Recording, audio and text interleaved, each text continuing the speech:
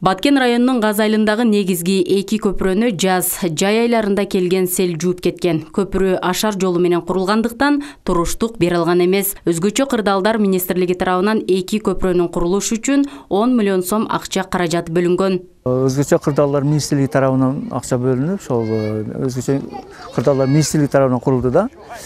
Бул көпүрө үчүн төрт миллион где то төрт миллион сегиз жүз миң сомдук акча бөлүнүп азыркы күндө мына бүтүп пайдаланууга берилип алынып турат да.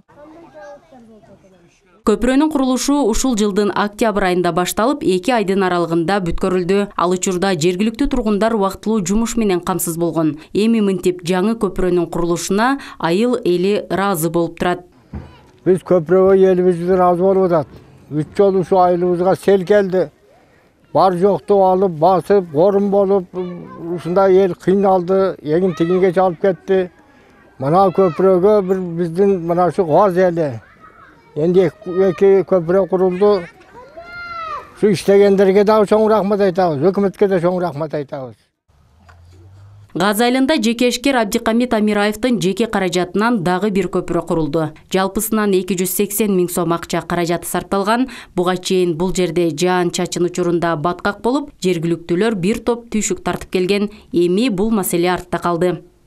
Мечиттин жолуга жакшы кылып көпүрө куруп берди. О балага рахмат. Иши алдыга жылсын.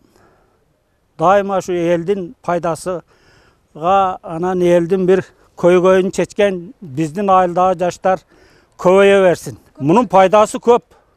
Ушу мечиттен мечитке кирген анан мынау ояк биягыдагы немелер дагы айылдын немелери өтүп атат машинелер.